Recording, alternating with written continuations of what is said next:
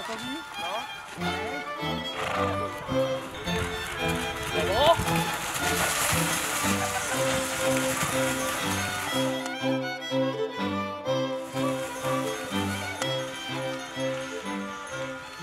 Zapraszamy do obejrzenia filmów z cyklu Góralskie Komoterki.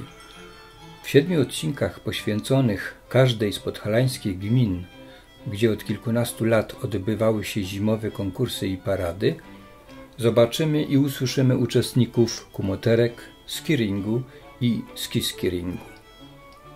Kolekcjonerzy i wytwórcy sań, uprzęży, jurorzy przybliżą nam organizację i przebieg tej corocznej imprezy regionalnej współorganizowanej przez Związek Podhalan i gminne ośrodki kultury.